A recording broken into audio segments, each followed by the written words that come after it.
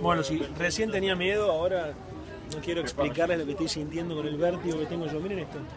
Estamos en la punta, propiamente dicho, de la Torre Eiffel.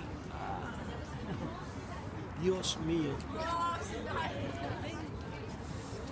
No, no, no, no, no. 300 metros de altura, ¿no? 300, sí. Meli, ¿qué sentís vos siendo argentina estando en la punta de la Torre Eiffel? Es demasiado lindo. Tienen que venir, conocer, ver esto porque es impagable. Una amiga de Villa María, Córdoba, que está acá. Y seguimos recorriendo. Ay, sorry. Casi le saco un ojo a una con la cámara. Y me dijo, oh.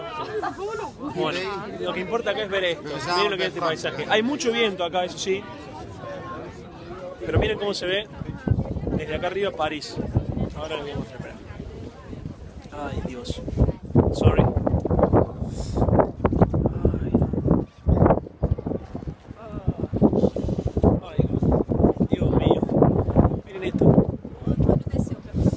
Ya no queda torre para arriba. miren.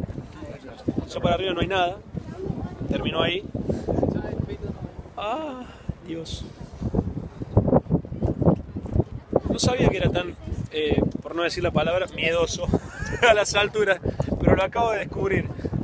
Cuando veníamos en el ascensor quería que termine de subir eso. Lo que es 300 metros de altura, imagínense. Y la gente chocha, se saca fotos, disfruta. Excusez-moi, excusez-moi. Discúlpeme, discúlpeme. Uy, me estoy cruzando en todas las fotos había y por haber. Excusez-moi.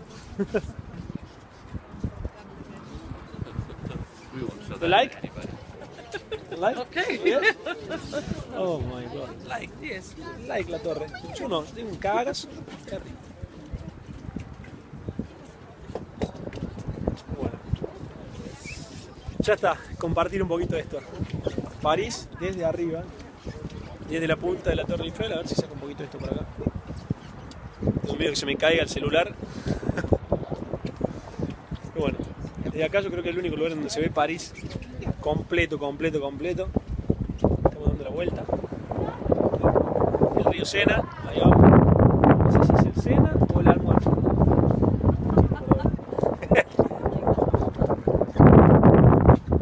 Bueno, nada. Esto no estaba enrejado como ahora, hasta hace un tiempo, donde la gente decidía venir a, a matarse de la mejor manera. Como me tiré la torre Eiffel. Pero miren. A ver, última levantada. Si se ve desde allá todo esto. que está ahí. Que está ahí. Bueno, espero que les haya gustado. La Torre Eiffel, un destino hermoso para conocer. Si vienen a París, obviamente no se pierdan esta oportunidad de subir a la torre. Yo no quería subir, me tenía un poquito de miedo, después me animé a subir. Pero bueno, anímense a subir a la Torre Eiffel porque es una experiencia única. Yo creo que irrepetible e inigualable.